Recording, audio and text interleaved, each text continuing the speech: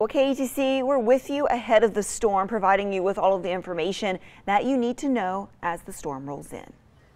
Start our team coverage over in Morgan City, where our Abby Breidenbach is live with the current conditions there. Good morning, Abby.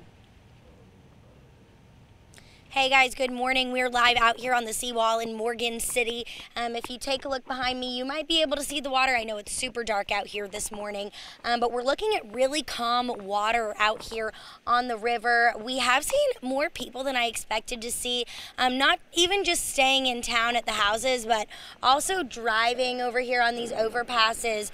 Um, we've seen a, a good bit of people going in both directions. It doesn't look like many people in this neighborhood that we're near have evacuated. Um, we actually we saw a good bit of cars in the road and on driveways, so it looks like people here in Morgan City are hunkering down and planning to try to ride this one out. We're going to be staying here all the weekend long as well, trying to ride it out and just give you guys a continuous look at current conditions. It's a little breezy, maybe even windy out here this morning, picking up and slowing down on and off.